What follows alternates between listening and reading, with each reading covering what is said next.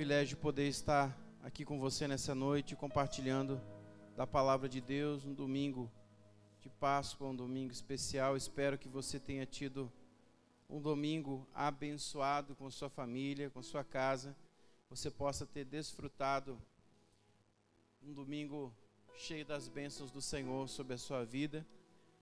E hoje é um domingo especial, é um domingo de falarmos de ressurreição, um domingo de falarmos de milagres, de boas notícias, de coisas extraordinárias. E eu creio que nós estamos vivendo um tempo em que Deus vai ressuscitar um novo tempo sobre nossa casa, nossa família e sobre nossas vidas. Em Mateus 28, no versículo 1 em diante, diz: e no fim do sábado, quando já despontava o primeiro dia da semana, Maria Madalena e outra Maria foram ver o sepulcro. E eis que houvera um grande terremoto, porque um anjo do Senhor, descendo do céu, chegou removendo a pedra da porta e sentou-se sobre ela. E o seu aspecto era como um relâmpago, e as suas vestes brancas como a neve. E os guardas, com medo dele, ficaram muito assombrados e como mortos. Mas o anjo respondendo disse às mulheres: Não tenhais medo, pois eu sei que buscais a Jesus, que foi crucificado. Ele não está aqui, porque já ressuscitou, como havia dito. Vinde ver de lugar onde o Senhor jazia. Quero falar com você sobre ressurreição. A Bíblia tem alguns casos de ressurreição. E o de Jesus para nós é um dos mais preciosos e mais importantes, porque a ressurreição de Cristo anuncia um novo tempo, anuncia uma nova era, anuncia um novo, um novo, novo tempo de Deus para nós, de vivermos coisas poderosas. Ele morreu como um cordeiro, mas ressuscitou como um leão. E ele vive à destra de Deus, ele está presente hoje aqui. A Bíblia diz: onde estiver dois ou três reunidos em meu nome, ali eu estarei. Nós cremos que o Senhor está nesse lugar, o Senhor está aqui conosco, o Senhor está com você aí na sua casa. E se eu fosse colocar um tema nessa mensagem já assim, dando um título a ela, eu diria que é Remova a Pedra. E um dos casos também de ressurreição em que Jesus estava presente está no Evangelho de João, no capítulo 11, quando Jesus chega a Betânia e lá havia uma família que Jesus amava muito, a família de Marta e Maria. E Jesus tinha um amigo muito precioso chamado Lázaro. E esse amigo tinha ficado doente e ele havia morrido e já fazia quatro dias que ele estava morto. Em João capítulo 11 diz que aquelas mulheres vendo Jesus se prostraram diante dele e disseram: Mestre, se o Senhor estivesse aqui, o nosso irmão não teria morrido. Ali também tem um relato em que Jesus ele se moveu de tanta compaixão a ponto que Jesus chorou a morte de Lázaro. Mas também diz que Jesus chega na porta do sepulcro e Jesus dá uma ordem dizendo: Tirai a pedra. E quando eles removem a pedra, eu creio que já estava cheirando mal, depois de quatro dias, mas Jesus ali ele dá uma ordem e, e aquela voz de Jesus ecoa no mundo espiritual. E Jesus diz: Lázaro, sai para fora. Naquele momento, aquele amigo de Jesus, Lázaro, que estava morto, saiu para fora, vivo, seu corpo intacto. Seu corpo foi transformado, foi regenerado, foi curado, sarado. Seu, seu corpo que já estava em decomposição voltou no estado normal. E aquele homem teve a sua vida transformada por uma palavra quando Jesus simplesmente agradece a Deus e dá uma ordem. E aqui eu quero dizer uma palavra poderosa para a sua vida nessa noite é Jesus poderia ter dado uma ordem para um anjo vir remover a pedra? Poderia.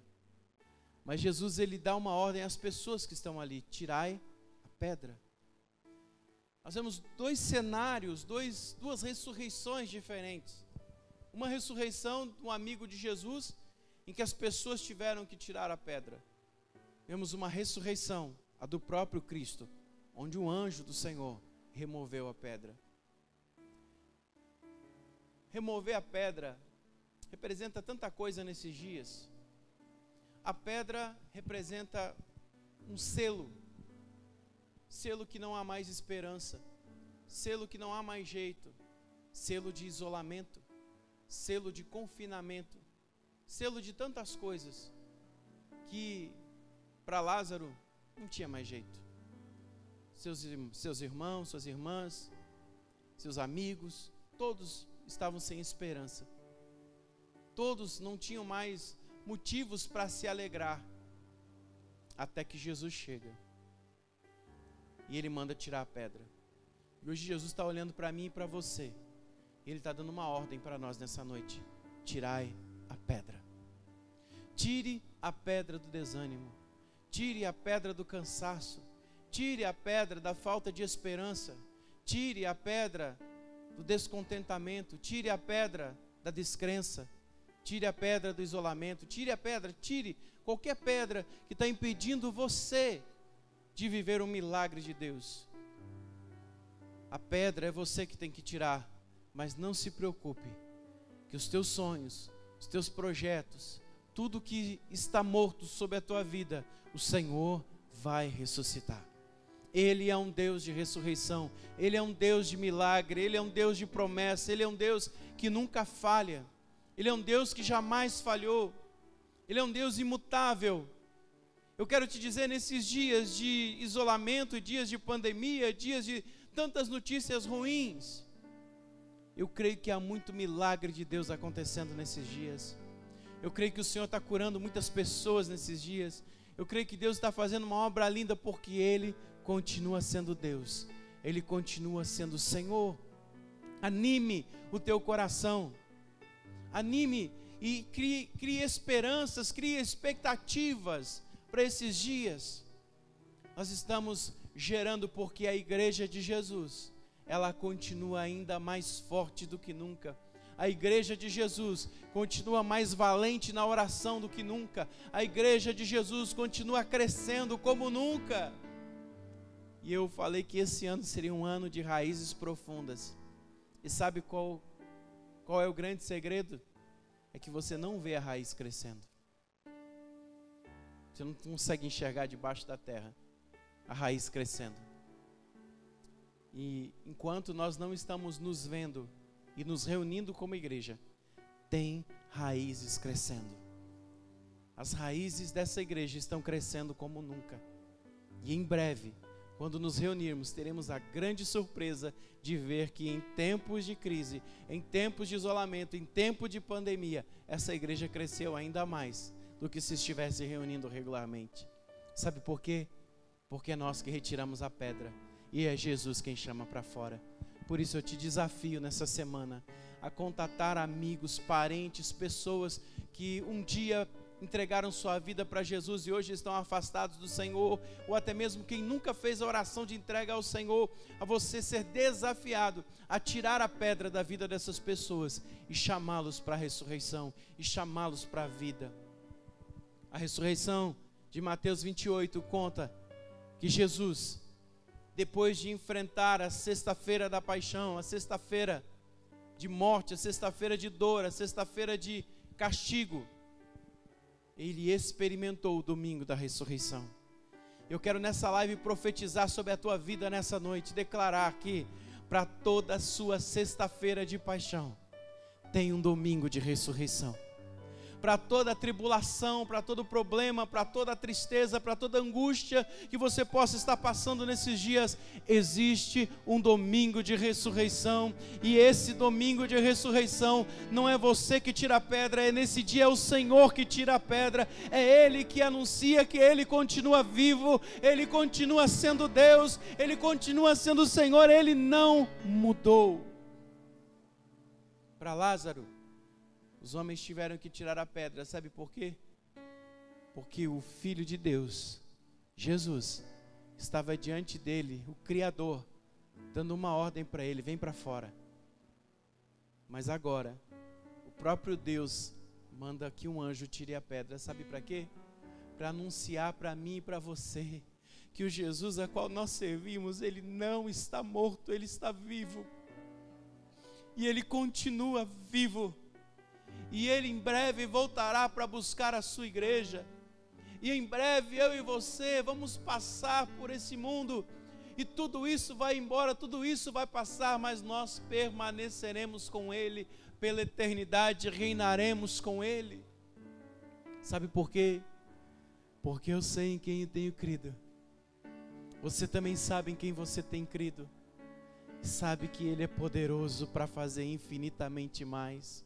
E sabe que Ele continua vivo a grande alegria, a grande esperança de sermos a noiva do Cordeiro, de sermos a igreja santa, é saber que Ele está vivo e que em breve, em breve, muito em breve, Ele voltará.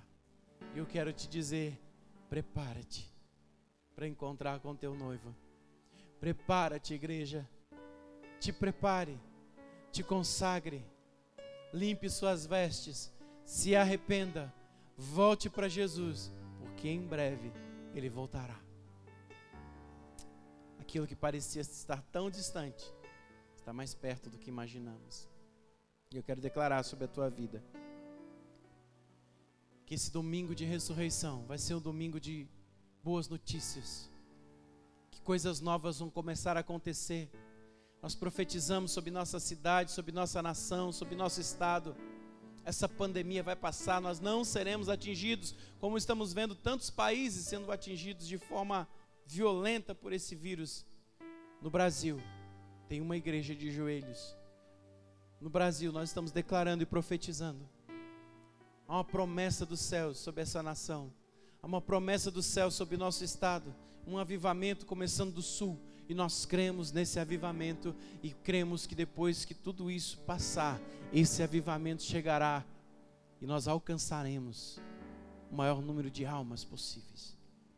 Eu quero te desafiar a renovar tuas esperanças nesse dia. E eu profetizo em nome de Jesus que tudo que está morto sobre a tua vida, o Senhor está ressuscitando nesses dias.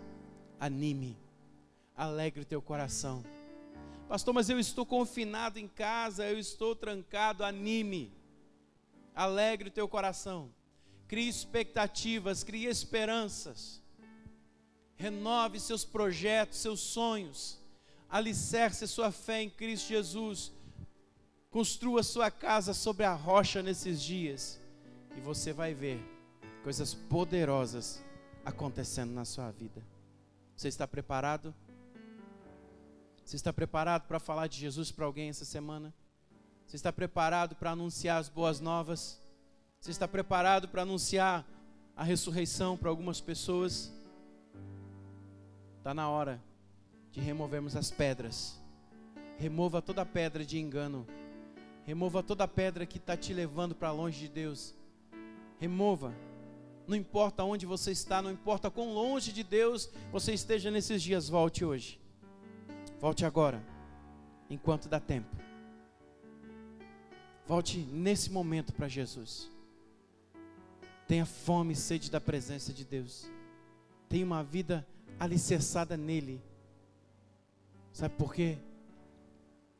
Porque ele já ressuscitou.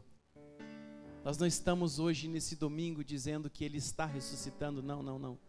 Há mais de dois mil anos atrás, ele já ressuscitou. E Ele está vivo. E Ele continua vivo. E estará para sempre. E Ele cuida da sua igreja, da sua noiva. Ele zela por ela, Ele ama ela. E em breve voltará para buscá-la.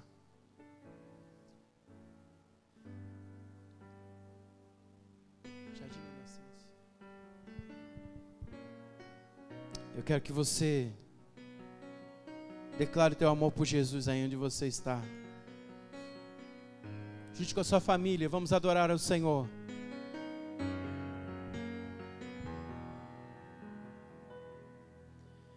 Ah, que saudade, que saudade de ouvir tua voz ao entardecer. Ah, que vontade que vontade de voltar ao jardim da inocência. Se eu pudesse, voltaria atrás e não faria novamente o que fiz. Troquei minha comunhão pela escuridão da noite, em trevas tornei os meus dias. Ah, que saudade, que saudade de ouvir tua voz ao entardecer. Ah, que vontade, que vontade de voltar ao jardim da inocência. Se eu pudesse, voltaria atrás e não faria novamente o que fiz. Troquei minha comunhão pela escuridão da noite em trevas tornei os meus dias.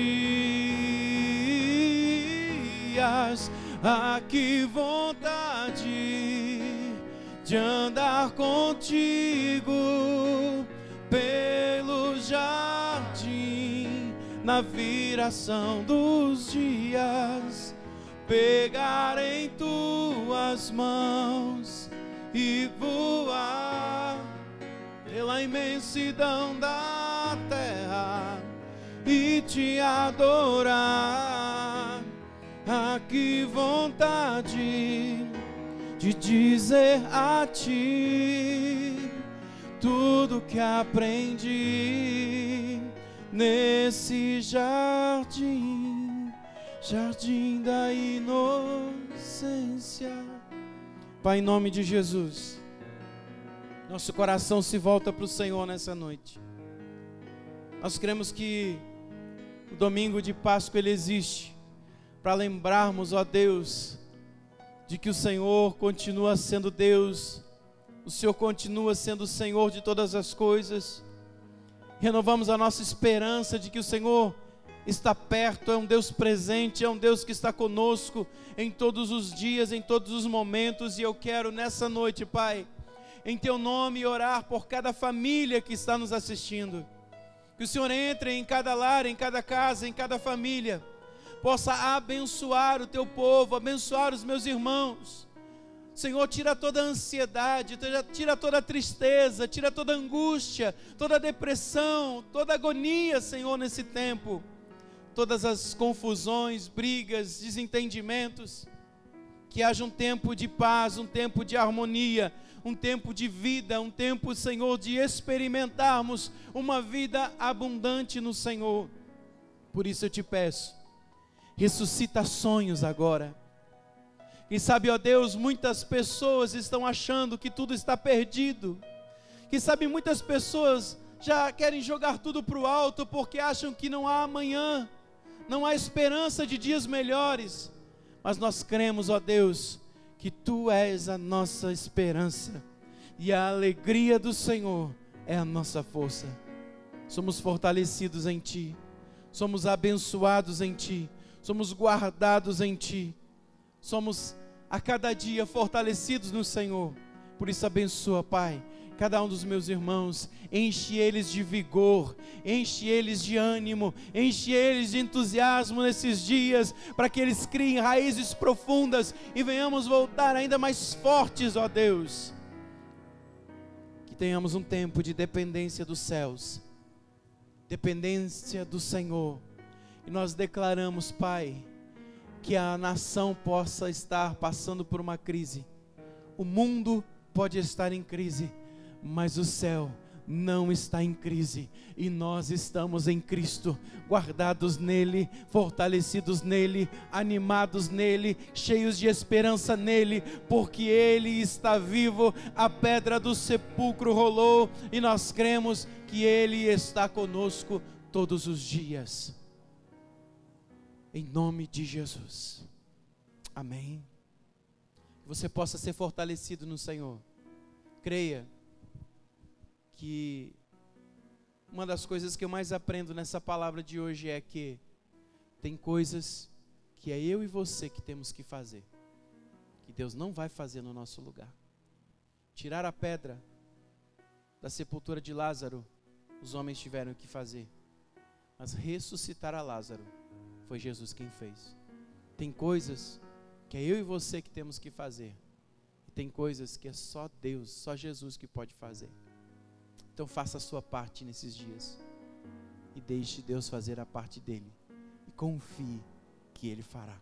Porque ele é o mesmo ontem, ele é o mesmo hoje e serás o mesmo eternamente. Amém? Que Deus te abençoe grandemente. Espero dar boas notícias nessa semana a você. Vamos continuar orando pela nossa nação, orando nas madrugadas pelo nosso Brasil. Estamos enfrentando essa pandemia, mas profetizando que no nome de Jesus, até postei essa semana, né? Que no mês de abril e maio teremos um pico de milagres, de cura de Deus, de restauração de Deus, em que esse vírus vai desaparecer em nome de Jesus. Você vai poder voltar para o seu trabalho, você vai poder voltar para as suas atividades. Vamos reunir novamente nos cultos presenciais. E eu creio em nome de Jesus que está mais perto. Então fique forte. Não desista. Não desanime. Fique forte no Senhor. E nós estamos com você nessa jornada. Espero que você tenha feito o culto caseiro essa semana. A célula na sua casa. Nós estamos enviando semanalmente a palavra para ser ministrada na quinta-feira, dentro da sua casa, com a sua família e esteja cada vez mais forte em nome de Jesus. E até quarta-feira, se não presencial, se online, nós estaremos juntos em nome de Jesus. Um grande abraço, fique com Deus, estamos com saudades de você. Deus abençoe.